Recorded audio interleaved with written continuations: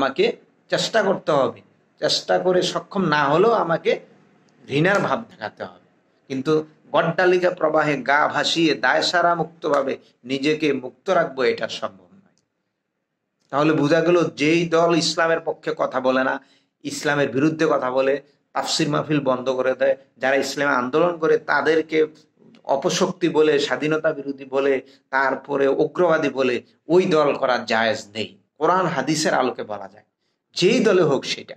ওই দলেরকে সাপোর্ট দেওয়া জায়েজ নেই। কারণ আল্লাহ রসুল বলেছেন, আদাল্ল আলাল খাইরে কাফাইলিহি যে ভালো করল আর যে ভালোটা চালু করল, উভয়ই অংশীদারি। এখানে কেমন পর্যন্ত সব পেতে থাকবে।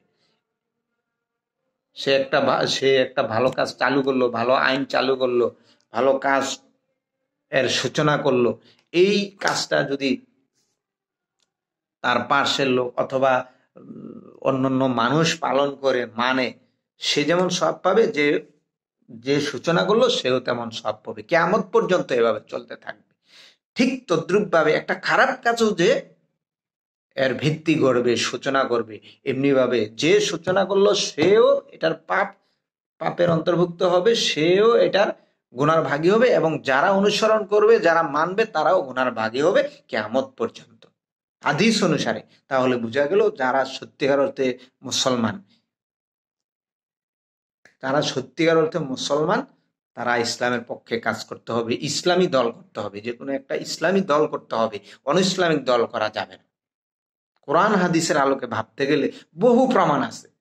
যারা ইসলামের বিরুদ্ধে কথা বলে, কোরআনের বিরুদ্ধে কথা বলে এবং কোরআনের পক্ষে যারা কথা বলে, তাদের বিরুদ্ধে ষড়যন্ত্র করে তাদেরকে নারীর অপবাদ দেয়, তাদেরকে এই উগ্র মৌলবাদী বলে, অপশক্তি বলে, স্বাধীনতা বিরোধী বলে, সাম্প্রদায়িক বলে এই সব ধরনের যারা বলে, তারা আসলে ইসলামী দলকে চায় না, ইসলামকে চায় না, ইসলাম প্রতিষ্ঠাও এটাও চায় না। এই জন্যই তারা এগুলা বলে, আর এই জাতীয় দলকে সাপোর্ট দেওয়া জায়েজ নেই। অসংখ্য প্রমাণ আছে। যারা প্রমাণ চান, তারা কোরআন হাদিস খুলে দেখুন, বিষয়ভিত্তিক কোরআন হাদিস খুলে দেখুন, সুরা তবা পরে দেখুন, সুরা সুরা আনকাবুত পরে দেখুন, সুরা নহল পরে দেখুন, তারপরে বিষয়ভিত্তিক হাদিস যেগুলো আছে, দেখুন যে যারা মুমেন বলে দাবি করে, মুসলমান বলে দাবি করে নিজেকে, তারা কখনো অন ইসলামিক দল করতে পারে না অন ইসলামিক দলকে সাপোর্ট দিতে পারে না। এটা জায়েজ নাই। আর যদি যে সাপোর্ট দেয় অন ইসলামিক দলকে, যারা কোরআনের বিরুদ্ধে কথা বলে, ইসলামের বিরুদ্ধে কথা বলে এবং ইসলামী ইসলামের পক্ষে যারা কথা বলে, তাদের বিরুদ্ধে ষড়যন্ত্র করে, এই জাতীয় দলকে যারা সাপোর্ট দিবে, যতই নামাজ পড়ুক যারা হোক আর মুসলমান বলে দাবি করুক, সত্যিকার অর্থে মুসলমান হতে পারবে না, হওয়া সম্ভব নয় এবং হাসরের দিন জবাব দিয়ে করতে হবে, এতে কোনো ভুল নেই। আল্লাহ রাব্বুল আলমিন যেন আমাদের সকলকে সেই কথাগুলো এতক্ষণ যা আলোচনা করলাম, কোরআন, হাদিসের আলোকে এই কথাগুলো যেন আমরা মানতে পারি এবং আল্লাহ রাব্বুল আলমিন যেন মানার তৌফিক দেন, সেই কামনা করে, সেই আর্জি পেশ করে আল্লাহ রব্বুল আলমিনের কাছে আজকের মতো এখানেই শেষ করলাম। সকলকে আন্তরিক মোবারকবাদ।